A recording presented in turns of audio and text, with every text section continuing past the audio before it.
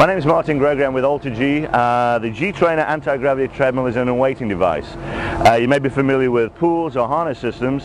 The big difference is when, when we uh, unweight a patient, we're unweighting them with air pressure. And the advantage of that is that uh, we have full range of motion, unrestricted movement, and normal gait. We can take a patient's body weight anywhere from 100% of their body weight all the way down to 20% and back up again in 1% increments.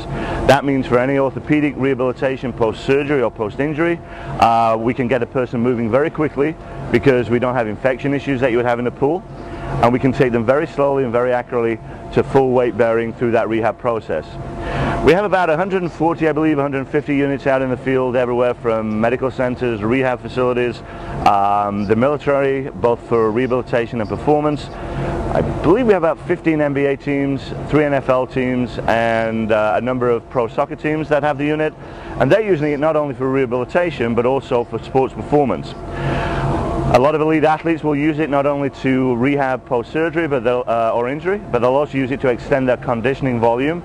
Around 100 miles a week an elite athlete will break down. Well, they can reduce their road mileage, uh, increase their, um, their mileage on the G-Trainer at reduced body weight, and so their conditioning volume increases.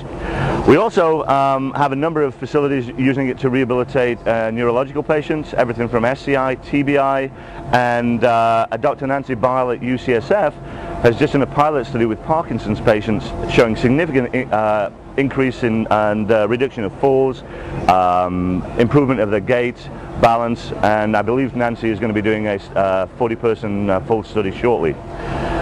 Another application is with uh, amputees. Walter Reed Medical Center has a couple of units both in their outpatient orthopedic and in an amputee clinic. And with an amputee you can weight them very early on in, uh, when they get the prosthetic and then take the, the individual very slowly uh, by increasing their body weight and their speed till they have normal gait, normal walking action. And what's very unique with this unit is you can then take that individual uh, particularly a 21 year old, 22 year old uh, who has an amputation, so you can have them jogging or running again.